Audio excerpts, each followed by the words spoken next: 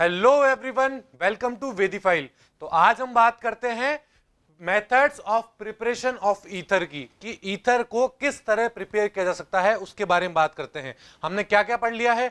हमने general introduction पढ़ा ether का। उसके बाद स्ट्रक्चर पढ़ी ईथर की और फिर नॉमन की हमने बात करी। आज हम पढ़ने जा रहे हैं प्रिपरेशन मेथड की ईथर को किस तरह हम प्रिपेयर कर सकते हैं। तो सबसे पहला मेथड पढ़ने जा रहे हैं हम बाय डिहाइड्रेशन ऑफ़ एल्कोहल अगर हम एल्कोहल का डिहाइड्रेशन करा देंगे तो किस तरह हम ईथर का प्रिपरेशन करेंगे उस चीज़ की बात करते हैं। सो so, अगर हम एल्कोहल का डिहाइड्रेशन कराएँगे तो वहाँ पर क्या होता है? By molecular dehydration of alcohol with concentrate H2SO4 gives ether अगर हम एल्कोहल का डिहाइड्रेशन करा दे, कौन सा? बाई मॉलिकुलर डिहाइड्रेशन करा दे तो हमें क्या मिल जाएगा? हमें ईथर्स का फॉर्मेशन होता हुआ दिख जाएगा। जैसे कि मैं बात करूँ, मान लीजिए मेरे पास दो मॉलिक्यूल आर ओ एच है बात क्लियर है? मैंने दो मॉलिक्यूल आर ओ एच लिया। और इसकी रिएक्शन अगर मैं concentrate H two S O four के साथ कराता हूँ 413 केल्विन टेम्परेचर कितने केल्विन टेम्परेचर पर? 413 केल्विन टेम्परेचर पर तो मुझे ईथर फॉर्म होता हुआ दिखता है और H2O वहाँ से बाहर निकल जाता है। बात क्लियर है यहाँ तक? क्या बोला मैंने? अगर मैं ROH की रिएक्शन कंसंट्रेट H2SO4 के साथ कराता हूँ तो मुझे एक ईथर फॉर्म होता हुआ दिखता है और एक वाटर मॉलिक्यूल वहाँ से बाहर निकल जाता है। समझ में आई ये रिएक्शन नेक्स्ट पॉइंट क्या होगा देखिए? Dehydration product of alcohol is ether as well as as alkene क्या बोला मैंने? ध्यान से सुनिए। हमने ये पढ़ा था कि अगर हम अगर हम एल्कोहल का डिहाइड्रेशन कराते हैं तो उस केस में तो एल्कीन बनता था। ये ईथर कब से बनने लगा? ये ईथर कब से बनने लगा बताइए? ये ईथर टेम्परेचर डिपेंडेंट बनने लगा। That means controlling of the alcohol is depend on temperature हम एल्कोहल के साथ किस टेम्परेचर पर रिएक्शन करा रहे हैं, वो डिपेंड करता है। अगर आपने टेम्परेचर ज़्यादा ले रखा है तो क्या होगा? डिहाइड्रेशन होके एल्कीन का फॉर्मेशन होगा। और अगर आपने टेम्परेचर कम ले रखा है तो डिहाइड्रेशन होकर ईथर का फॉर्मेशन होगा। बात क्लियर है? जैसे मैं रिएक्शन की बात करता हूँ, देखिए, मैंने ये एल्कोहल लिया। क्या है एल्कोहल CH3 CH2OH बिल्कुल, ये मैंने अल्कोहल लिया। अब एक बार मैंने इसकी रिएक्शन कराई कंसंट्रेट H2SO4 के साथ 443 केल्विन टेम्परेचर पर, किस पर? 443 केल्विन टेम्परेचर पर। और एक बार मैंने इसकी रिएक्शन कराई H concentrate H two four के साथ ही 413 केल्विन टेम्परेचर पर, या मैं बोल दूँ 413 केल्विन टेम्परेचर के ऊपर। बात क्लियर है? तो मैंने क्या बोला था अभी? मैंने बोला था, अगर हाई टेम्परेचर पर रिएक्शन करा रहे हो 443 केल्विन टेम्परेचर पर रिएक्शन करा रहे हो तो आपको एल्कीन फॉर्म होती हुई दिखेगी। और अगर आपने 413 केल्विन टेम्परेचर पे करवाया है तो आपको ईथर फॉर्म होता हुआ दिखेगा। बिल्कुल आप नीचे ईथर देख पा रहे हो। तो क्या देखा आपने यहाँ पर? अगर आपने दो मॉलिक्यूल किसके लिए हैं? एल्कोहल के लिए हैं। 443 डिग्री केल्विन टेम्परेचर है तो एल्कीन बनेगा और 413 केल्विन टेम्परेचर है तो क्या बन जाएगा हमारे पास बताइए? ईथर का फॉर्मेशन होता हुआ दिख जाएगा। बात क्लियर है? अब हमें यहाँ किसकी बात करनी है? ईथर फॉर्मेशन की बात करनी है। तो उसके बारे में बात करते हैं, अब हम देखिए। So ether formation by dehydration is an example of S N two reaction क्या बोला मैंने? जो ईथर फॉर्मेशन होता है इसके अंदर एल्कोहल के अंदर यहाँ पर, वो एस एन टू रिएक्शन का क्या है? एक एग्जांपल है। और एस एन टू रिएक्शन किसके अंदर होती है? हमने क्या पढ़ी थी? वन डिग्री एल्कोहल के अंदर सबसे अच्छी तरह से क्या होती है? एस एन टू रिएक्शन होती है। बात क्लियर है? In which protonated alcohol is the substrate and the second molecule of alcohol is the nucleophile क्या बोला हमने इसके अंदर? उसको हम एक मैकेनिज्म समझते हैं तो हमें ये पूरी रिएक्शन समझ में आ जाएगी कि किस तरह हमने ईथर का फॉर्मेशन किया है। बात क्लियर है?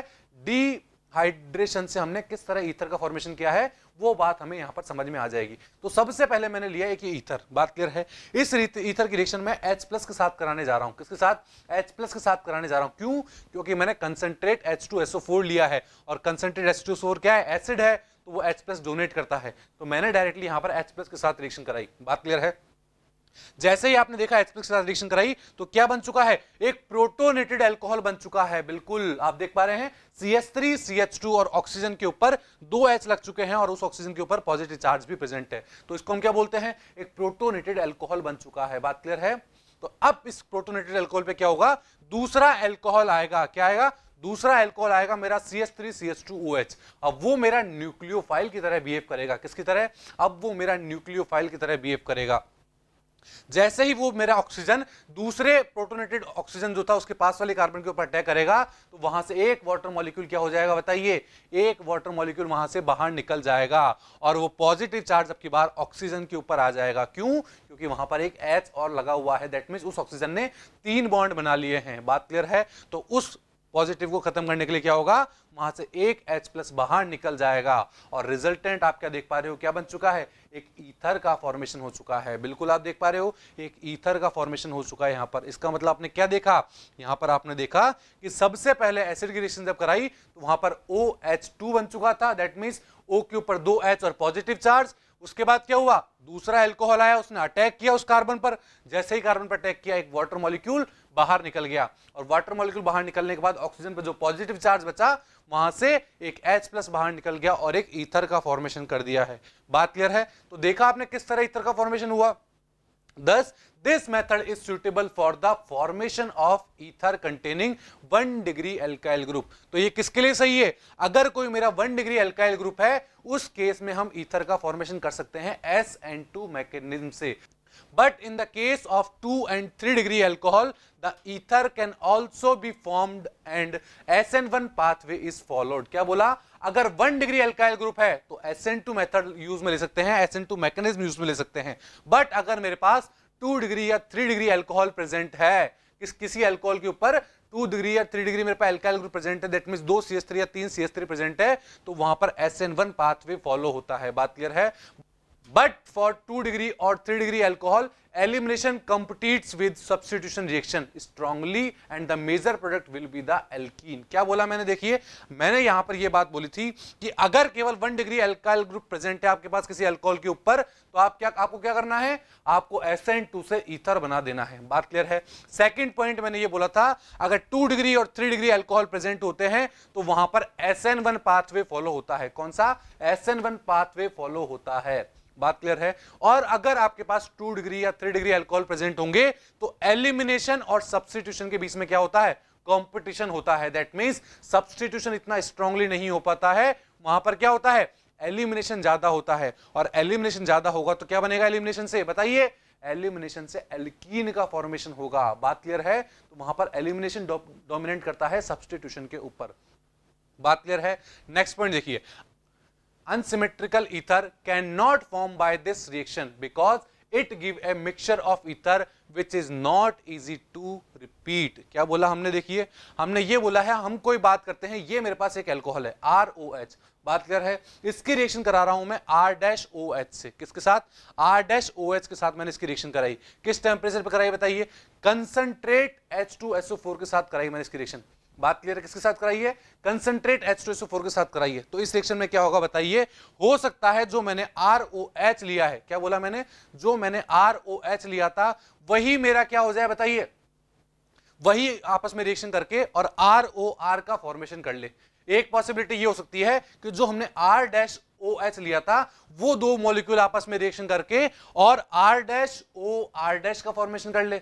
एक पॉसिबिलिटी ये भी थी कि आर ओ एच और आर डैश ओ एच आपस में रिएक्शन कर ले और क्या प्रोडक्ट बना देंगे? R O R dash product बना दे। दैट मीन्स यहाँ पर मिक्सचर ऑफ़ प्रोडक्ट फॉर्म हो सकते हैं। और मिक्सचर ऑफ़ प्रोडक्ट फॉर्म हो सकते हैं तो हम इस रिएक्शन को फेवरेबल नहीं मानते हैं कि ये ईथर बनाने के लिए एक अच्छा मेथड है।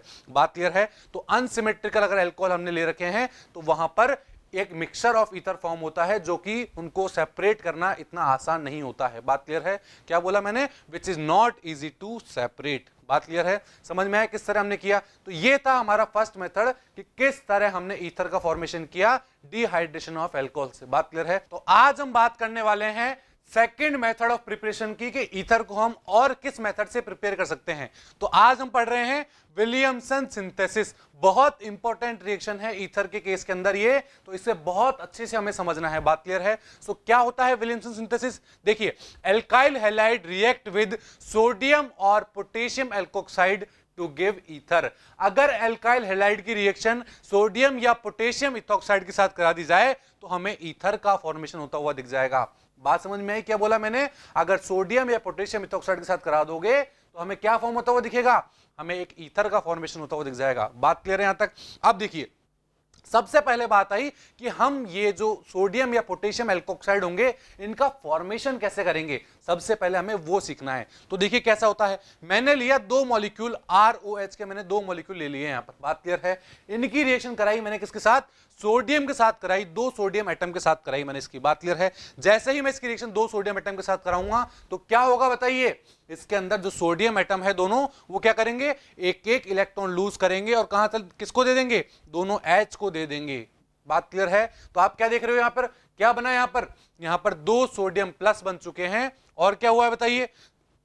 दो आर ओ माइनस बन चुके हैं और जो दोनों एच थे, उनने मिलकर एक बॉन्ड बना लिया है। इसका मतलब क्या हुआ? जो आर ओ माइनस और एन ए प्लस थे, वो दोनों आपस में आके क्या हो चुके हैं कंबाइन हो चुके हैं। और इसी को हम बोलते हैं सोडियम एल्कोक्साइड दैट मीन्स क्या हुआ? दो आर ओ एच के मॉलिक्यूल थे, उनकी रिएक्शन दो सोडियम एटम के साथ कराई गई। दोनों सोडियम ने एक एक क्या किया? इलेक्ट्रॉन लूज किया और वो इलेक्ट्रॉन उन H ने ले लिया है हाइड्रोजन ने। जैसे ही दोनों हाइड्रोजन ने एक एक इलेक्ट्रॉन लिया, उनने H2 का फॉर्मेशन कर दिया और सोडियम मेरे कहाँ चले गए? O माइनस के पास चले गए हैं। और जो ये मेरा R O minus N A plus form हुआ है, इसी को हम बोलते हैं सोडियम एल्कोक्साइड बात क्लियर है? हमने सोडियम एल्कोक्साइड का फॉर्मेशन कर लिया है और हमने पढ़ा था कि सोडियम एल्कोक्साइड की रिएक्शन अगर हम एल्काइल हेलाइड के साथ करा दें तो हमें क्या मिल जाएगा? ईथर फॉर्म होता हुआ दिख जाएगा, बिल्कुल। तो अब नेक्स्ट स्टेप में क्या होगा, आप देख पा रहे हैं, ये जो सोडियम एल्कोक्साइड है, इनकी रिएक्शन हम आर एक्स के साथ कराने जा रहे हैं। आर एक्स क्या है, यहाँ पर बताइए। आर एक्स होता है मेरा एल्काइल हेलाइड एक्स मेरा हेलाइड है आर मेरा एल्काइल पार्ट है तो एल्काइल हेलाइड बोल देंगे इसको हम। तो जो मेरा ओ माइनस है, वो कहाँ अटैक करेगा? उस आर के ऊपर अटैक करेगा और वहाँ से एक्स बाहर निकल जाएगा। That means R O R का फॉर्मेशन हो जाएगा। इसका मतलब क्या फॉर्म हो गया है? एक ईथर का फॉर्म हो गया है और बाहर क्या निकला? एन ए एक्स मेरा बाहर निकल चुका है। बात क्लियर है? तो हमने क्या बोला था? अगर हम सोडियम या पोटेशियम एल्कोक्साइड की रिएक्शन एल्काइल हेलाइड के साथ कराते हैं तो हमें ईथर फॉर्म होता हुआ दिखता है। बात क्लियर है? समझ में आई रिएक्शन कैसे हुई? नेक्स्ट पॉइंट देखिए symmetrical and unsymmetrical ether can be obtain by this method इस मेथड से आप सिमेट्रिकल ईथर भी बना सकते हैं और अनसिमेट्रिकल ईथर भी बना सकते हैं। बात क्लियर है? यहाँ तक समझ में आया? It follows S N two mechanism यहाँ पर S N two mechanism follow होती है। कैसे? जो हमारा आर ओ माइनस था, जो एक न्यूक्लियोफाइल की तरह बिहेव कर रहा था, वो एल्काइल के ऊपर क्या करता है? अटैक करता है बैक साइड अटैक करता है। इसलिए ये S N two mechanism follow करता है। बात समझ में आई यहाँ तक? नेक्स्ट देखिए नेक्स्ट क्या होगा? अब मैं कुछ रिएक्शन की बात करता हूँ, जिससे हमें समझते हैं कि क्या हमें ये रिएक्शन समझ में आई या नहीं आई। देखिए, अब की बार मैंने लिया सोडियम मिथोक्साइड मेरा ये वाला। सोडियम मिथोक्साइड क्या होता है? CH3 CH2O माइनस और Na प्लस बात क्लियर है? ये हो गया हमारा सोडियम मिथोक्साइड इसकी रिएक्शन कराने जा रहा हूँ मैं CH3 CH2Br के साथ। बिल्कुल, किसके साथ? CH3 CH2Br के साथ रिएक्शन कराने जा रहा हूँ मैं। तो क्या होगा? जो ओ माइनस मेरा होता है, उसका एरो आप देख पा रहे हैं, वो कहाँ अटैक करेगा? जहाँ पर बी लगा हुआ है, उस कार्बन के ऊपर अटैक करेगा। और जैसे ही वहाँ पर अटैक करेगा तो क्या होता है? बी आर वहाँ से बाहर निकल जाता है। तो आप क्या देख पा रहे हैं? क्या बना आपके पास? C H three C H two O C H two C H three का फॉर्मेशन हो चुका है और एन और बी आर मेरा बाहर निकल चुका है। इसका मतलब क्या हुआ? इसका मतलब जो मेरा सोडियम इथॉक्साइड था दैट मीन्स इथॉक्साइड वाले पार्ट ने किसके ऊपर अटैक किया? एल्काइल हेलाइड वाले पार्ट के ऊपर अटैक किया। और ईथर का फॉर्मेशन कर दिया है और एक आर बाहर निकल चुका है। बात समझ में आई? तो ये क्या हुआ हमारा? ये हमने विलियमसन की ही एक और रिएक्शन पढ़ ली है कि किस तरह हम विलियमसन से ईथर ईथर सिंथेसिस करते हैं। बात क्लियर है? एक और रिएक्शन देखते हैं। अब की बार मैंने लिया सोडियम टर्शरी ब्यूटॉक्साइड क्या लिया? सोडियम टर्शरी ब्यूटॉक्साइड लिया। बिल्कुल आप देख पा रहे हैं। टर्शरी क्या होता है? जिस कार्बन से मेरा ओ लगा हुआ है, वही कार्बन मेरा तीन कार्बन से जुड़ा हुआ है। इस पार्ट को हम टर्शरी पार्ट बोलते हैं। तो ये हो गया मेरा सोडियम टर्शरी बिटोक्साइड बात क्लियर है? इसकी रिएक्शन कराने जा रहे हैं। किसके साथ बताइए? इथाइल ब्रोमाइड के साथ। That means C H three C H two B R के साथ रिएक्शन कराने जा रहे हैं। तो O माइनस मेरा सी एच टू पे अटैक करेगा और जैसे ही सी एच टू पे अटैक करेगा तो क्या होगा? एक बी आर बाहर निकल जाएगा। तो हमको क्या बनता हुआ दिखेगा? देखिए, आपको यहाँ पर एक कार्बन जिसे तीन सी एच थ्री लगे हुए हैं, उसे ओ लगा हुआ है और ओ से आगे सी एच थ्री जुड़ा हुआ है। क्या जुड़ा हुआ है? C H three C H two जुड़ा हुआ है। उससे बात क्लियर है। और बाहर क्या निकला? बाहर वही एन ए बी आर बाहर निकल चुका है। तो ये भी हमारे किसकी हुई? एक विलियमसन सिंथेसिस से हमने एक ईथर का फॉर्मेशन कर लिया है।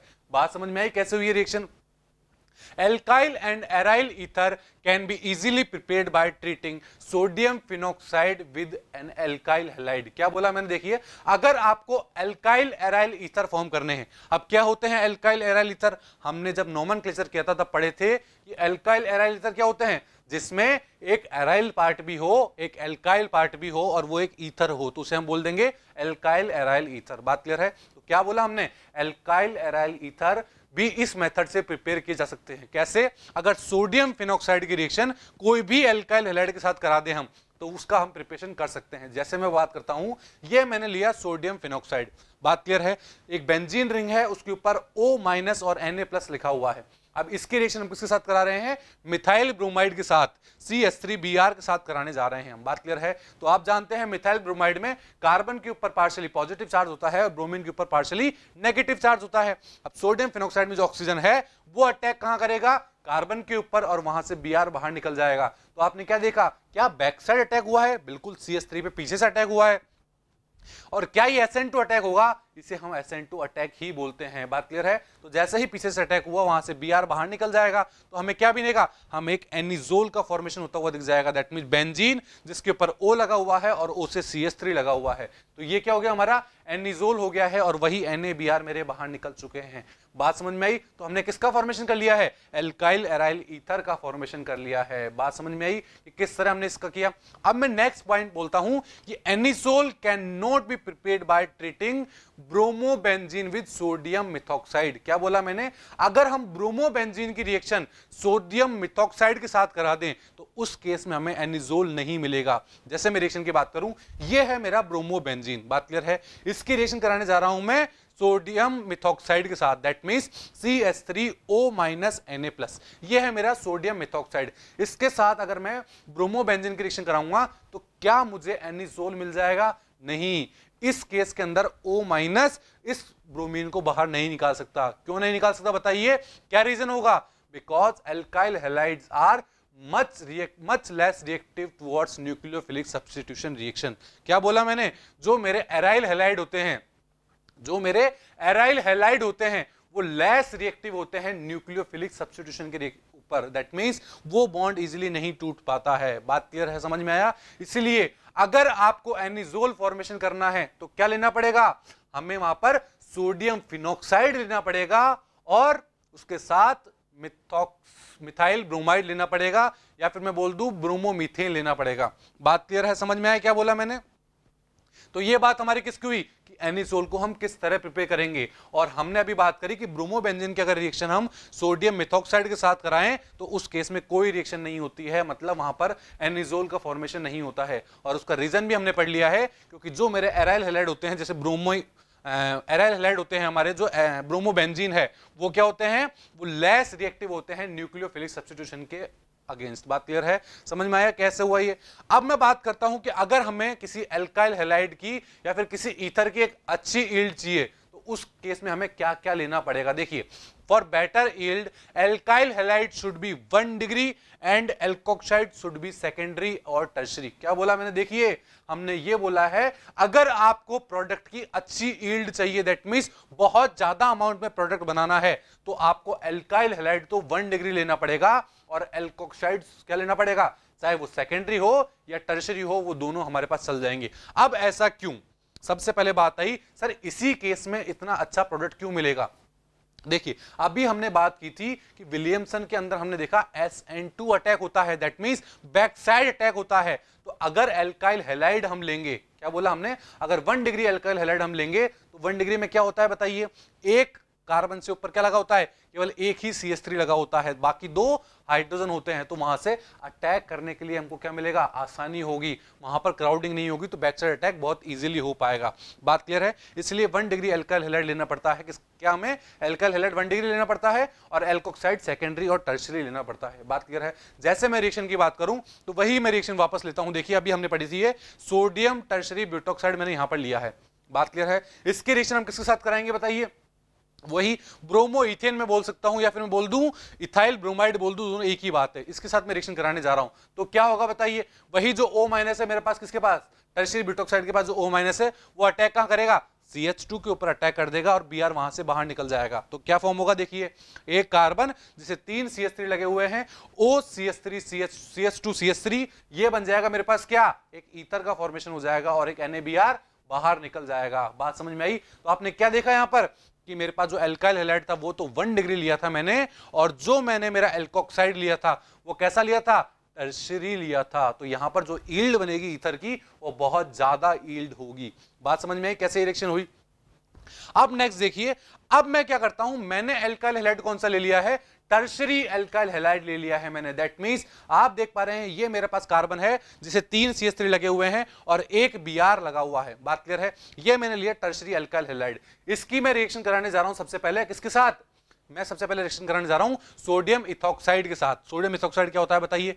सोडियम इथॉक्साइड क्या होता है? ये होता है मेरा sodium ethoxide C H three C H two O minus N A plus इसके साथ मैं रिएक्शन कराने जा रहा हूँ। अब बताइए क्या प्रोडक्ट बनेगा मुझे? बताइए। इसके अंदर नो रिएक्शन कोई भी प्रोडक्ट नहीं बनेगा। क्योंकि हमने क्या बोला था? अगर आपको रिएक्शन करवानी है रिएक्शन को अच्छी ईल्ड चाहिए तो वहाँ पर वन डिग्री एल्काइल हेलाइड होना चाहिए। यहाँ पर तो टर्शरी एल्काइल हेलाइड प्रेजेंट है। दैट मीन्स अगर ओ माइनस पीछे से अटैक करना चाहेगा तो वो अटैक कर ही नहीं सकता। क्यों? क्योंकि यहाँ पर क्राउडिंग बहुत ज़्यादा है इसके अंदर। तो यहाँ पर वो अटैक नहीं हो पाएगा तो यहाँ पर कोई भी रिएक्शन नहीं होगी। दैट मीन्स सब्सटीट्यूशन नहीं होगा। बट अगर मैं अगर मैं दूसरे केस की बात करूँ तो हमने क्या बोला था? अगर टू डिग्री या थ्री डिग्री अल्काइल हेलाइड आप लेते हो तो उस केस के अंदर सब्सटीट्यूशन ना होके एलिमिनेशन हो जाएगा। और जैसे ही यहाँ पर एलिमिनेशन होगा, आप क्या बोलोगे? एक एल्कीन का फॉर्मेशन हो जाएगा। C S three C C S three और उस कार्बन से double bond C H two जुड़ा हुआ है। दैट मीन्स क्या फॉर्म हुआ यहाँ पर? एक एल्कीन फॉर्म हो चुका है, जबकि सब्सटीट्यूशन यहाँ पर नहीं हुआ था, वहाँ पर नो रिएक्शन थी। बात समझ में आई? कैसे हुआ? तो हमने क्या बोला? अगर आपके पास टर्शरी अल्काइल हेलाइड है, क्या बोला मैंने? टर्शरी अल्काइल हेलाइड है अगर आपके पास तो वहाँ पर सब्सटीट्यूशन नहीं होगा, वहाँ पर केवल और केवल एलिमिनेशन ही होगा। अब इसका रीजन क्या है सर ऐसा क्यों बोला आपने कि सब्सटीट्यूशन नहीं होगा उसमें? तो रीजन क्या होगा? Two degree and three degree alkyl halides readily undergo E2 elimination in the presence of strong base to form alkene and tendency of alkyl halide to undergo elimination is three degree is greater than two degree and greater than one degree क्या बोला मैंने? अगर two degree और three degree alkyl halide है तो वहाँ पर illumination ज़्यादा होता है सब्सटीट्यूशन कम होता है। और अगर एल्यूमिनेशन ज़्यादा होगा वहाँ पर तो एल्कीन का फॉर्मेशन होगा। और इसकी रिएक्टिविटी क्या होती है? थ्री डिग्री दे रखा है तो सबसे ज़्यादा एल्किन बनेगा। फिर टू डिग्री और वन डिग्री दे रखा है तो वहाँ पर सब्सटीट्यूशन ही हो जाएगा। बात क्लियर है? तो ये बात थी हमारी किसकी? विलियमसन रिएक्शन के, जिसके अंदर हमने बहुत सारे पॉइंट देखे। टू के बारे में पढ़ा। अच्छी ईल्ड के लिए हमने बात करी कि वन डिग्री अल्काइल हेलाइड होगा और टू डिग्री या थ्री डिग्री हमारे पास इथॉक्साइड्स होंगे या फिर एल्कोक्साइड होंगे तो उस केस में ईल्ड भी अच्छी होगी और सारी रिएक्शन हमने यहाँ पर कवर की। बात क्लियर है? आई होप आपको समझ में आया होगा। Thank you